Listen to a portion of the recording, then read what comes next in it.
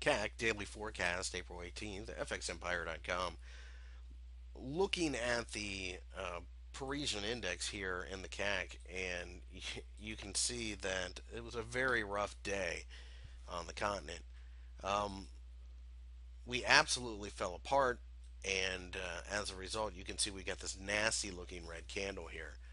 The candle stopped right on the 3600 euros level, which is an area that we had recently suggested was a major breakout. This area should be fairly supportive at this point, so it'll be interesting to see how the market reacts to this.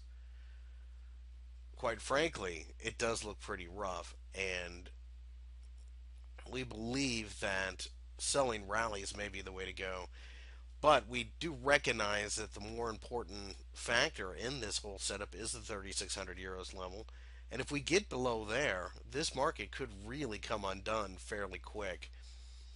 The move here recently has been pretty brutal, but the move below 3,600 would be absolutely horrible. So we're watching this market. We know that there is definitely a trigger point in one direction or the other. Um, but we need to see how price reacts to the 3600 over the course of the next couple of days. A nice return or a supportive hammer or something like that would be enough to get us to take a nibble on the long side, but if we close down below 3600, this market really could come undone.